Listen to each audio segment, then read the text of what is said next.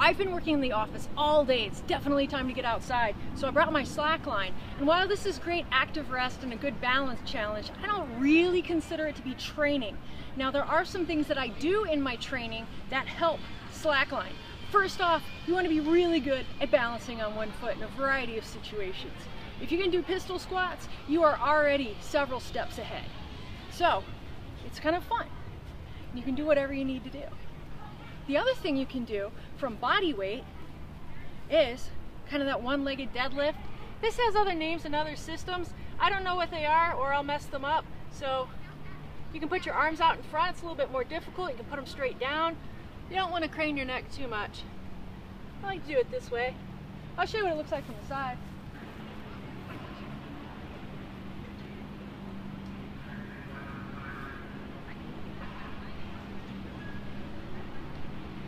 That's going to help you out a lot working on the slack line.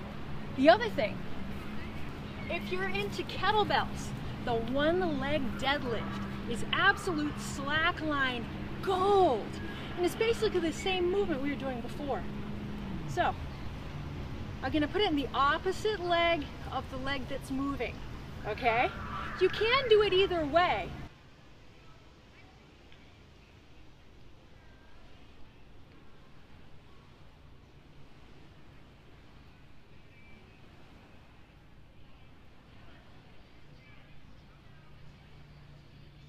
So just those ideas will help a lot with your slacklining. Anytime also um, you're doing one-sided work, that's gonna help you get that core stability that's really required for the slackline.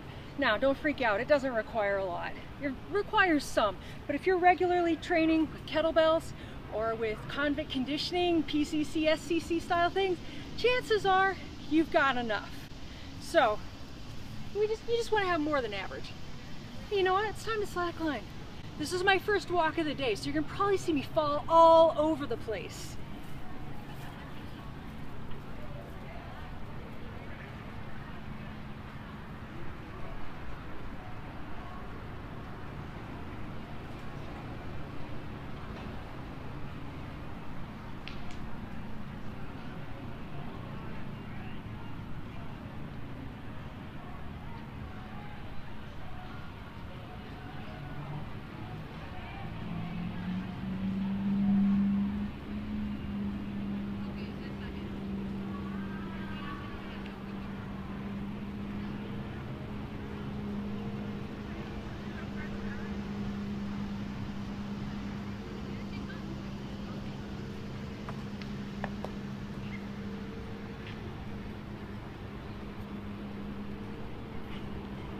Gotta get warmed up for that one.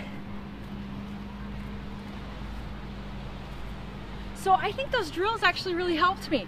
That's uh, better than normal um, for my first walk of the day. So I hope if you haven't already tried slacklining, to give it a shot, especially if you're already doing kettlebell training and or calisthenics. You'll see they support each other and they're a whole lot of fun to use together.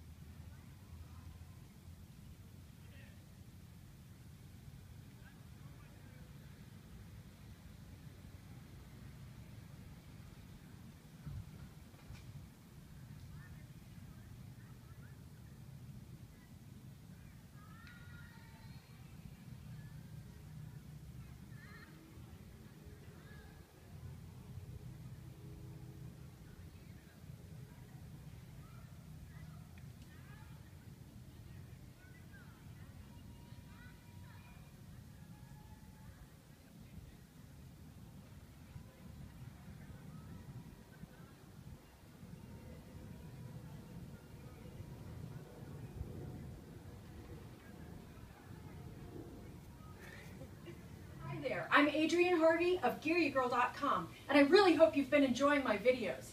You might have noticed that I don't use third-party ads. If you'd still like to support my channel, and I hope that you do, you can do so by visiting my website at GiryaGirl.com. That's G-I-R-Y-A-G-I-R-L dot com. I only review things that I like and think that will help you. Subscribe to the channel and check out some of those items as well as my website. I appreciate you watching and I hope I can create more cool things that you'll enjoy.